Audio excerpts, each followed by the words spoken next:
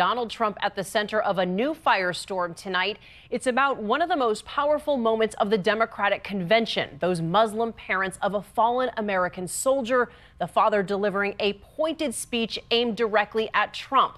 But now Trump's response in a one on one interview with George Stephanopoulos, drawing outrage from liberal and conservative critics alike. ABC's Mary Bruce has more. Tonight, Donald Trump is sparking outrage and disgust with his response to this grieving father. We are honored to stand here as parents of Captain Humayun Khan. It was the most raw, emotional moment of the convention. Khizr Khan offering this searing rebuke of Trump.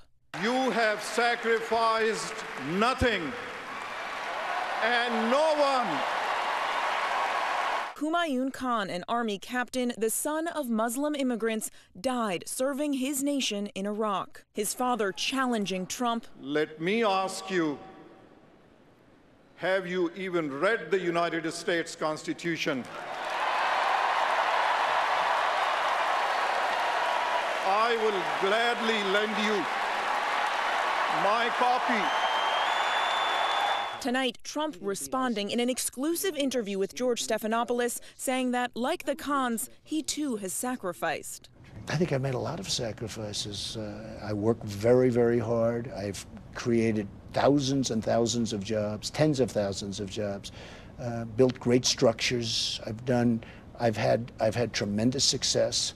Uh, I think those I've done are done sacrifices. Oh, sure. I think they're sacrifices and pointing a finger at Captain Khan's mother, suggesting Ghazala Khan did not speak because she was forbidden by her faith. If you look at his wife, she was standing there. She had nothing to say. She probably, maybe she wasn't allowed to have anything to say. The real reason, she tells us, all consuming grief. I was in pain, and all America felt that pain. I was so much into that, I gave them this pain. And Cecilia, tonight it's not just the Khans who are upset. On social media, the response to Trump's comments has been explosive and furious. Trending right now on Twitter, the hashtag made a lot of sacrifice. Cecilia. Mary Bruce, thank you. And you can see George's entire interview with Donald Trump tomorrow on This Week.